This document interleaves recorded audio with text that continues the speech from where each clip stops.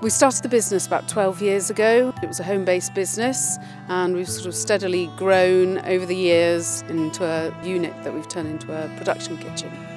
We've had a variety of different sorts of support over the years and more recently support to help us through our SALSA accreditation. It opens up more markets for us to sell our products into, work with some bigger companies to distribute our products across the country.